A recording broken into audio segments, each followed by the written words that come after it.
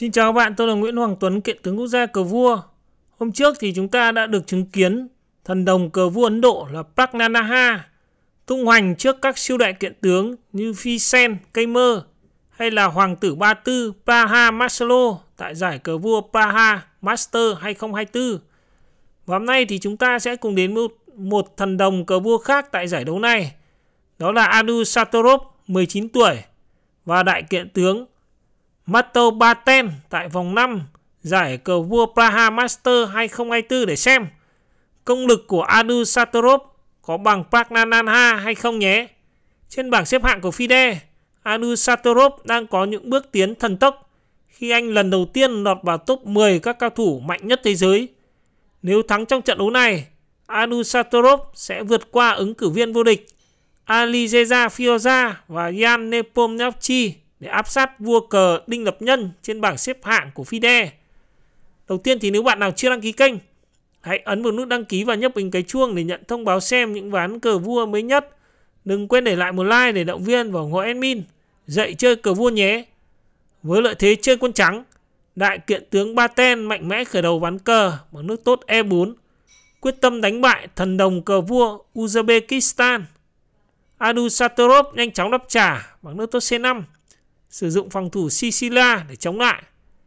Trắng nhảy mã F3, nước cờ tấn công được coi là mạnh mẽ nhất. Đen phát triển mã kính vua lên C6, đưa quân xuất trận kiểm soát trung tâm. Trắng triển khai mã lên C3, đen đẩy tốt G6, đúc lô cốt cho tượng lên G7, kiểm soát đường chéo chiến lược A1 H8. Và với nước đi này thì đen không giấu giếm ý đồ sẽ sử dụng Sicilia kín hoặc là hệ thống con rồng trong khai cuộc Sicilia tùy vào cách ứng phó của bên trắng. Trắng mạnh mẽ dâng tốt D4 đánh chiếm trung tâm. Đen ăn tốt sang D4. Trắng ăn mã lên D4.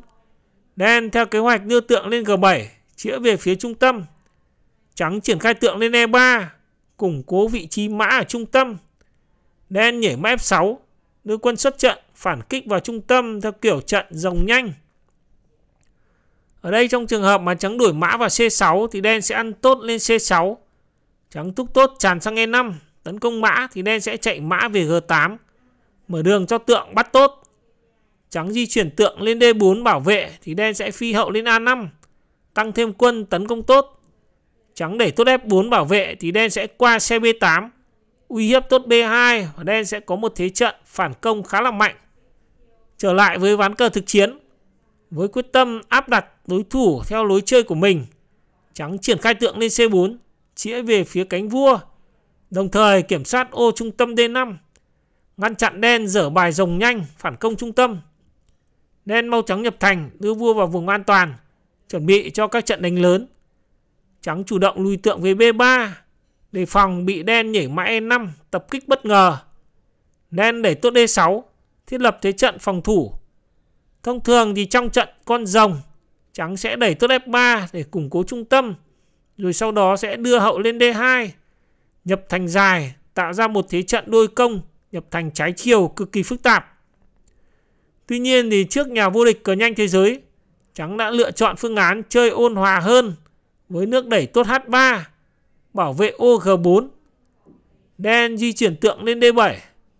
Nhận thấy các quân nhẹ của đen đã vào vị trí tập kết Chẳng không dám nấn ná để vua giữ bàn cờ lâu. Vội vã nhập thành. An toàn vua cái đã. Đánh đấm sau. Đen nhảy mã A5. Tìm cách thủ tiêu quân tượng nguy hiểm. Đang ngày đêm chĩa về phía vua mình. Trắng di chuyển hậu lên D3. Mở thông hàng ngang số 1 cho hai xe liên kết nhau. Sẵn sàng tham chiến ở các điểm nóng. Đen đẩy tốt A6. Chuẩn bị dâng tốt B5. Tiến đánh cánh hậu. Trắng qua xe E1 tập trung quân nặng trên cột trung tâm. Đen qua xe C8, chiếm lĩnh cột nửa mở C. Trắng tiếp tục huy động quân xe còn lại qua D1, tập trung cả cặp xe trên các cột E và D, chuẩn bị đột phá ở trung tâm. Với quyết tâm giành thế chủ động trên chiến trường, đen ủng ngổ dâng tốt B5, phát động chiến dịch tấn công ở bên cánh hậu. Trắng phi tượng lên G5, mở đường cho xe phía sau tham chiến Cảm nhận thấy sự nguy hiểm, nên cấp tốc đưa xe qua E8, bảo vệ điểm yếu E7. Không chần chừ, trắng nhảy mã vào D5, chiếm đóng cứ điểm hùng mạnh ở trung tâm. Ngay lập tức, đen đổi luôn mã vào D5. Trắng ăn tốt lên D5, mở toang cột E cho xe phối hợp với tượng, uy hiếp tốt E7. Đen nhảy mã vào C4 cắm chốt, tấn công lại vào điểm yếu B2. Không muốn lằng nhằng, trắng đổi luôn tượng vào C4, tiêu diệt quân mã nguy hiểm của đối thủ. Đen ăn tốt lên E4 bắt hậu. Trắng chạy hậu sang E3, tăng thêm quân tấn công tốt E7. Quyết không chịu phòng thủ một cách bị động. Đen bỏ tốt phi hậu lên A5 phản công lại. Ở đây trong trường hợp mà trắng ham ăn con tốt ở E7 thì đen sẽ phi tượng lên E5 chia cắt hậu và tượng của đối thủ. Trắng chạy tượng về G5 thì đen sẽ phi tượng vào H2 tung ra đòn chiếu mở bắt hậu. Trắng ăn vua lên H2 thì đen sẽ ăn xe vào E3. Trắng ăn xe lên E3 thì đen sẽ ăn hậu sang D5 tấn công tượng và đen sẽ chiếm ưu thế về lực lượng với hậu đấu với xe tượng. Trở lại với diễn biến ván cờ, không dám mạo hiểm ăn con tốt. Trắng di chuyển hậu lên E4 để bảo vệ tốt D5. Không chậm chế, đen ăn hậu vào A2 làm thịt con tốt, thơm phức.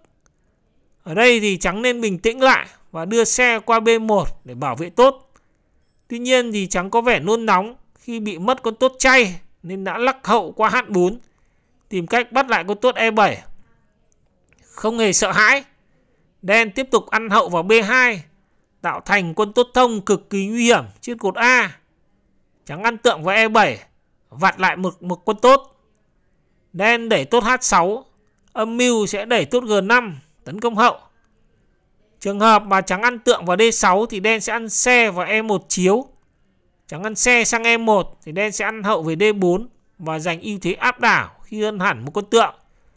Trong khi tốt thông A6 lại tỏ ra cực kỳ nguy hiểm khi được sự trợ giúp của tượng G7 trên đường chéo lớn A1 H8. Trở lại ván cờ thực chiến, không dễ dàng xa vào bẫy của đối thủ. Trắng quạo F4, đe dọa sẽ ăn hậu vào D6 bắt tượng.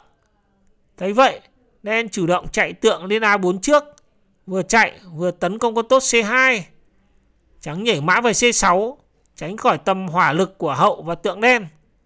Đen lập tức ăn tượng vào C6, trắng ăn tốt xuống C6, đen ăn xe lên C6. Sau một loạt nước đổi quân ăn uống loạn xạ, trắng lại bị mất thêm một con tốt chay. Chót đâm lao thì phải theo lao, trắng nghiến răng ăn tượng về D6 cố gắng gỡ gạc lại quân tốt. Đen đổi xe vào E1, chẳng ăn xe sang E1. Đen ăn hậu vào C2, tiếp tục tái lập ưu thế hơn hai tốt của mình. Không những thế thì hai con tốt thông này đều là những quân tốt thông cực kỳ nguy hiểm. Ở đây trong trường hợp mà trắng thọc xe xuống E8 chiếu phản công thì đen sẽ chạy vua lên H7. Trắng ăn hậu vào F7 đe dọa xuống G8 chiếu hết thì đen sẽ xuống hậu D1 chiếu Trắng chạy vua lên H2 thì đen sẽ ăn hậu về D6 chiếu. Trắng đẩy tốt F4 thì đen sẽ đẩy tốt H5 mở đường máu cho vua thoát lên và đen sẽ giành chiến thắng một cách dễ dàng khi hơn hẳn một con tượng chay. Trong khi tốt thông tại cột C lại đang tăng tăng tiến xuống, hầu như không có sức mạnh nào cản nổi. Trở lại với diễn biến ván cờ, bị dồn vào bước đường cùng, trắng liều lĩnh đẩy tốt G4 tiến đánh cánh vua. Không dám đùa với lửa, đen cấp tốc lùi xe về C8, phòng thủ hàng ngang số 8. Trắng lùi hậu về F3, âm thầm chuẩn bị đưa xe xuống hàng ngang số 7, hợp sức tấn công con tốt F7. Thế nhưng thần đồng cờ vua Uzbekistan cũng rất là khôn. Anh nhanh chóng lùi hậu về B3 gạ đổi, đồng thời dọn đường cho tốt tiến xuống phòng hậu. Đến đây thì biết đối thủ đã đề cao cảnh giác, nên không còn cơ hội phản công lại. Đại kiện tướng Mato Baten đành phải dừng đồng hồ chịu thua để tránh khỏi bị ăn hành ngập mồm. Trường hợp mà trắng cố gắng chống cự, lùi hậu về G2 để bảo vệ tốt, thì đen sẽ thúc tốt tiến xuống C3 và trắng sẽ khó lòng chống đỡ nổi hai con tốt thông của đen khi mà không có bất cứ cơ hội phản công nào trong tay.